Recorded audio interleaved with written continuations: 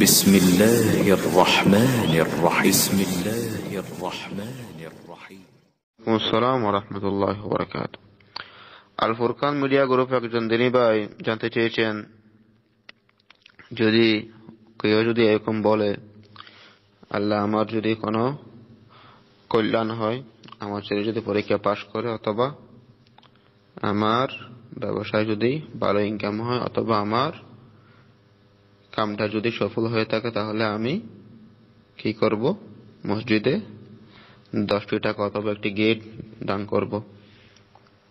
অথবা মাজারে কোন একটি জিনিস দান করব। এটা কতটুকু ইসলাম সম্মত? দেখুন শ্রদ্ধা দিনী ভাই।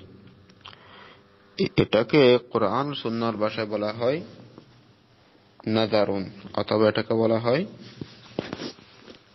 মানে মান্নত, বাংলায় বলে মান্নত কেমন? এখন এই মান্নত ভালো মান্নত হইতে পারে আর খারাপ মান্যতা হইতে পারে। ভালো মান্যত যেমন আপনি নিয়ত করেছেন, আপনার যদি রোগটা ভালো হয় যে আপনি দশজন গরিবকে মানত করেছেন যে দশজন গরিবকে আপনি ভালো করে খাওয়া মানে খাওয়া দান করবেন, কত খাদ্য দান করবেন। ঠিক তেমনি ভাবে হয়তো আপনি মানত করেছেন যে আমার যদি কাজটা যদি সফল হয়, আমার ছেলে যদি পরীক্ষা যদি পাশ করে, তখন আমি দশ লাখ টাকা অথবা পনেরো লাখ টাকা আমি কি করব? হ্যাঁ অমুক মসজিদে দান করব। কিন্তু এখন এগুলি হচ্ছে ভালো মান্যত এগুলি করতে হবে। আর একটা বিষয় হচ্ছে মান্যতের বিষয়। নিয়ত আর মান্যত বেশ কম আছে। নিয়ত যদি করেন, এটা যদি আপনি কোনো কারণ যদি করতে না পারেন মানে সমস্যা নেই। কিন্তু মান্যতের ক্ষেত্রে এটা করে দিতে হয়।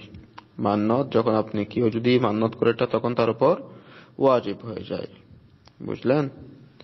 ঠিক তেমনি ভাবে যখন খারাপ মান্যত, আপনি হয়তো মান্যত করেছেন যে আমার যদি কাজটা যদি সফল হয়, তাহলে আমি কি করব? হ্যাঁ? মাজারে গিয়ে সিজদা করব। আস্তাগফিরুল্লাহ।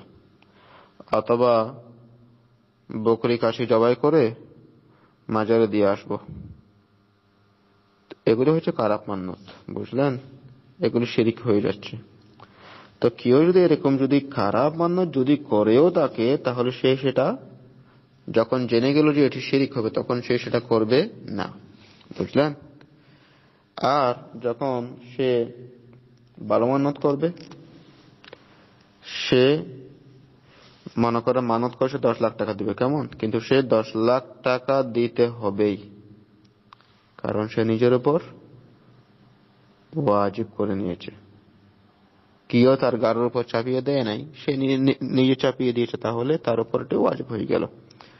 ঠিক তেমনি ভাবে আপনি যদি দশ লাখ টাকা না আপনি যদি বলেন যে, না, আমি পনেরো লাখ, আমি পনেরো লাখ দিব, তাহলে দিতে পারেন, সমস্যা কিন্তু কমানো যাবে না। বাড়াইতে পারবেন, বুঝলেন? কারণ আল্লাহ পাক বলেছেন, ইউফুনা বিন নাদরি ওয়া ইয়াখাফুনা ইয়াওমান কানা আপনি আল্লাহ পাক রব্বুল আলামিন মান্নত আদায়কারীদের কি করেছেন? গুণাগুণ বর্ণনা করেছেন। আর মান্নত অত ভালো জিনিস না।